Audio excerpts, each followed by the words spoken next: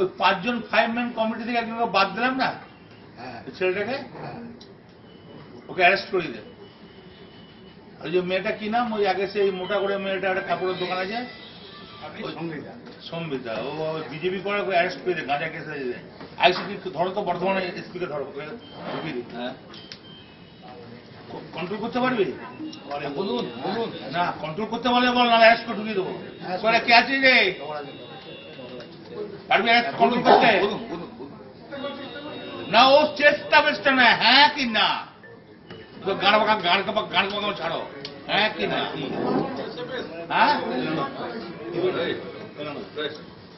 হ্যাঁ